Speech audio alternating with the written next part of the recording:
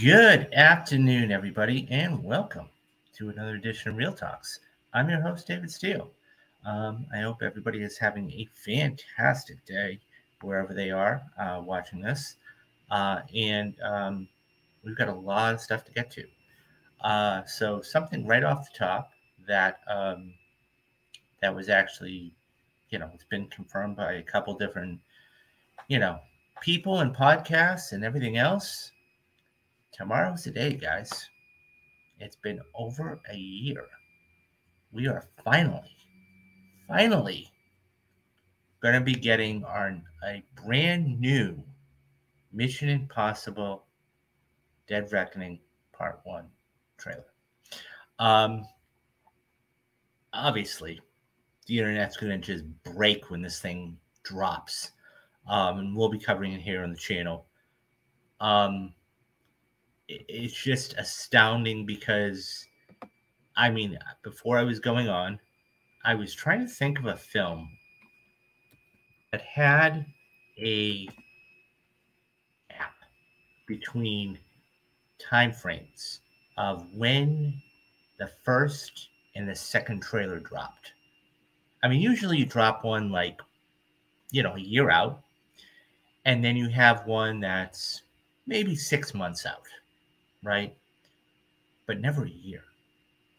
So the first official trailer for this film, and mind you, so we've got a lot of not a lot, but there were a couple Mission Impossible stories. This is one of them. Um, so the the first trailer dropped 11 months ago. This is the official one from Paramount, and it got 15 million views. Now, obviously, it's been a year, so there's and it's a two two minute trailers. So, I mean, you're going to get a lot of views, a lot of repeat views, but usually you drop it for, you know, big events. Um, this is one of those things you can drop anytime and the internet will just break. And I think that a couple of things actually came into play here. Um, first and foremost, I think that, you know, um, Tom Cruise, as I said the other day, doing that story about Simon Pegg, um, he kind of figured something out, right? And that was with COVID, what ended up happening was that Top Gun Maverick was delayed for quite a long time. And he knew that he wasn't going to just drop this on streaming. And so it had legs and subsequently made over a billion dollars. One of the movies that really saved Hollywood and you know was incredible just on so many different levels. Um that all being said this is it's num so a couple of things about this. Number one this is my most anticipated movie of the year. Hands down bar none i can't wait for july 14th okay? Number two i think that the fact is that because it has been a year. Everybody is chomping the bit. Now, I had said back many, many months ago, back in March, that what would end up happening is because they had several opportunities to drop this trailer many different times. Okay. The first one was at the Super Bowl. But then you had a lot of other um, studios dropping their trailers, like Guardians of the Galaxy, The Flash, whatever it was. Okay. So they didn't do it at the Super Bowl. Then it was the Oscars. I said, okay, if you're going to make a splash, spend the money, go do it during the Oscars. There was nothing during the Oscars. And subsequently, what ended up happening was, um, as a matter of fact, you know, Jeremy Fauser, who I'm friends with on Twitter, and um, actually, guys, if you want to go follow me on Twitter real quick, um, here is the Twitter handle. Um, so you guys can go do that. I'm always on Twitter talking about movies. I'm in spaces talking about movies, all that good stuff. So go follow me there. Anyways, so Jeremy Fauser and I were actually having a conversation about Oscars along with a bunch of other people in a space. And I said it was fascinating that they didn't drop one because look, it is the biggest movie it is the last film in this franchise, or you know, part one of it. I said it's it's interesting. And the next day, the next day on that Monday, what ends up happening? We get our first official poster, okay, for the Mission Impossible film. That being said, um, it, that's the only publicity thing we've got. That's it. Nothing else. Now we've gotten stills, okay? We've gotten a couple stills here and there, but no other major things. So I said, what they're going to do then is they're going to go to CinemaCon, and they're either going to show the whole thing, or they're going to show quite a bit of it. And what did they end up doing?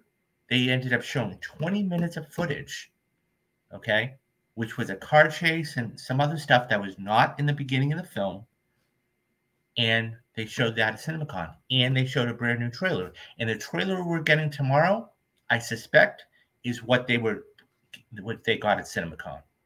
Um, so, and like I said, they could drop it. So we are only two months out. Everybody is chomping at the bit. And then when you have Christopher McQuarrie, you know, putting the the thing on his Instagram about you know, the previews, you know, coming soon, and then you know a couple tweets saying we're going to get one tomorrow.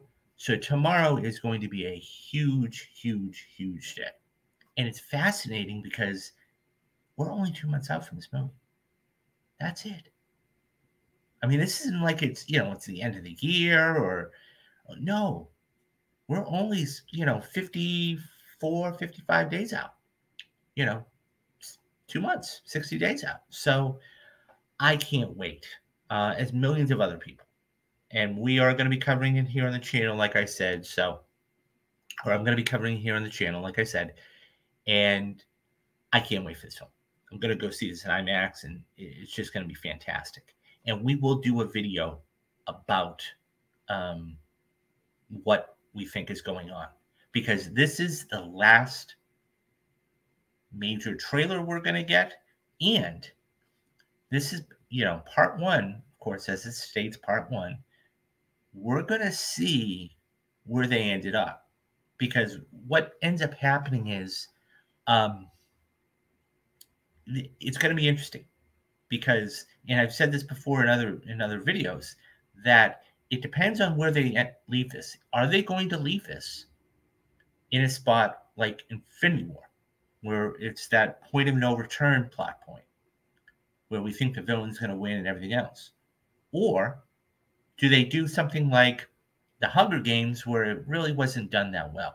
I was in a space with um, actually a couple of people about a week ago, you know, and um, so I said, wouldn't it be great? And I, by the way, this is total speculation, but wouldn't it be great if they actually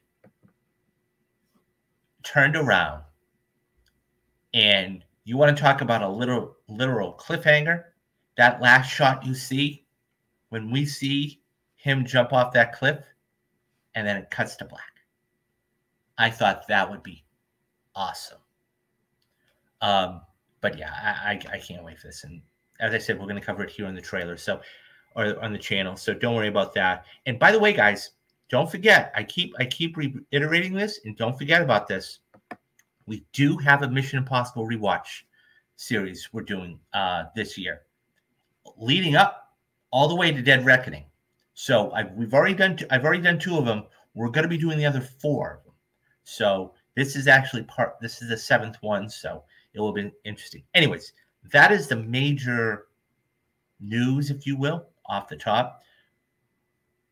What do you guys think about this? Are you excited for Mission Impossible Dead Reckoning Part 1? Are you going to go see it in the theaters or are you just going to wait until, you know, everything else? Are you doing a Mission Impossible rewatch series like myself? Leave me your thoughts down in the comments and I'll get back to everybody.